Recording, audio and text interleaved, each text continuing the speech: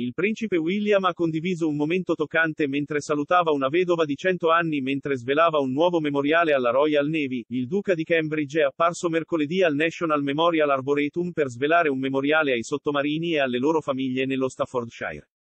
Il dovere reale, originariamente destinato alla regina, vedeva il duca rendere omaggio ai sottomarini continuata resilienza. Durante la sua visita, William incontrò sottomarini, veterani e alcune delle loro famiglie.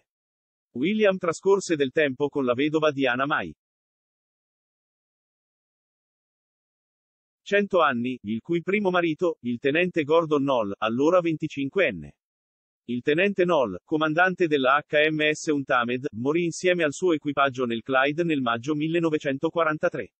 William ha posato una mano consolante sul braccio della signora Mai mentre incontrava le famiglie alla cerimonia commemorativa. Il duca ha anche incontrato il tenente comandante Ian Moline, che è stato assassinato sull'HMS Astute dopo aver attraccato a Southampton nell'aprile 2011. L'ufficiale ha cercato di affrontare un grado minore che è andato su tutte le furie omicida a bordo di un sottomarino a propulsione nucleare prima di essere colpito. La vedova del tenente comandante Moline, Gillian Moline, ha detto al duca che l'inaugurazione del nuovo memoriale era stata emozionante. William ha anche tenuto un breve discorso rivolgendosi al servizio sottomarino prima di svelare il memoriale. Ha detto dei militari, sarebbe difficile trovare un ambiente più impegnativo in cui prestare servizio. Il duca ha parlato di come il nuovo monumento imbriglia nella forma fisica le lotte a cui può portare questa vita di servizio.